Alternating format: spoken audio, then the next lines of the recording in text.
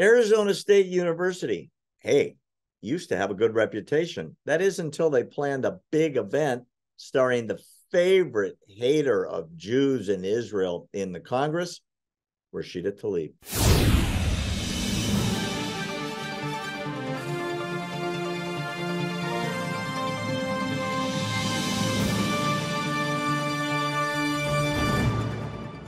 Speaking of which, there is some sanity today. Arizona State University, a couple days ago, just canceled their huge event with the most vile woman to ever be in the Congress.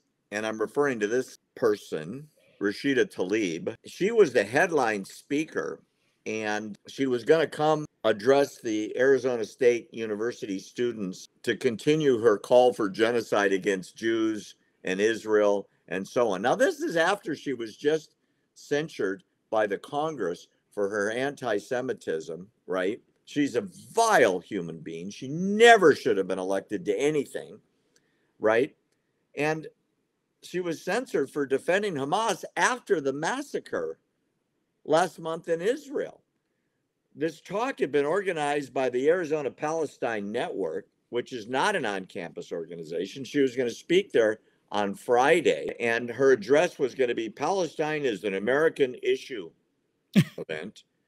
And it was canceled because the group is not an ASU group, Arizona State University. So they got her out on a on a technicality, but the truth is she was going to come and talk about how the massacre was justified and how Israel is an apartheid state and Israel is committing genocide and lie, lie, lie, lie, lie, lie, lie with a keffiyeh around her neck, screaming at Americans at an American university that we ought to be glorifying terrorism. But fortunately, she got booted on a technicality.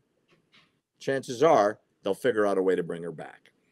Yeah, I'm pretty sure they're gonna work it out. They'll probably just find, you know, they'll or they'll they'll go even as far as go ahead and starting another group and have it set up for next week or the following week, and then have her come in and talk about the destruction of Israel and her hatred for America. And she's already been censored. Personally, they should have skipped the censor part and just went ahead straight to the expulsion. She should be removed as a member of Congress when you're openly supporting a terrorist group. Make it make sense, Barry. This uh, I, I look at this stuff and I'm like, wait a minute. She's openly supporting a terrorist group. She's on a Facebook page, Barry, that has been taught, promoting the destruction of America, destruction of Israel, literally hating on, a group on, of people. Let me interrupt you a minute. That was from the other day's show when we revealed. Yeah. What, what Will's referring to is a private Facebook page that Rashida Tlaib belonged to that nobody knew about. And on this Facebook page, they're calling for the elimination and the killing of Jews. Yes.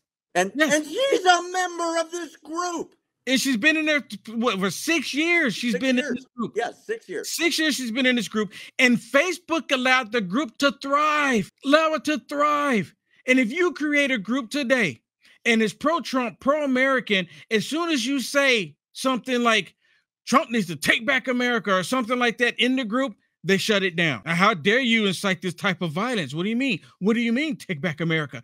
What? What? Because I believe in the back of their minds, the only way you can take back something what they're on the verge of trying to destroy is to fight back.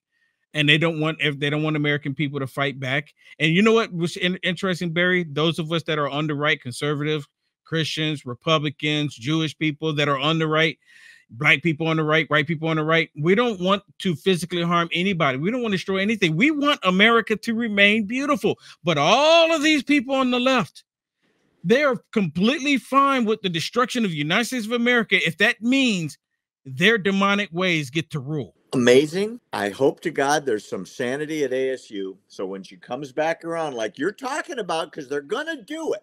Oh, yeah. Exactly what you just said. They're going to do it where new group next yep. week, right?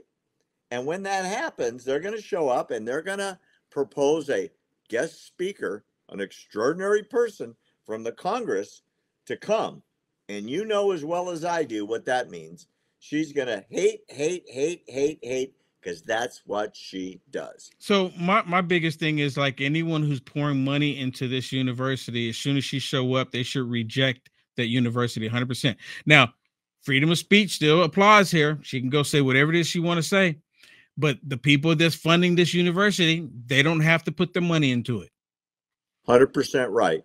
Walk your pocketbook to someplace else. Yep.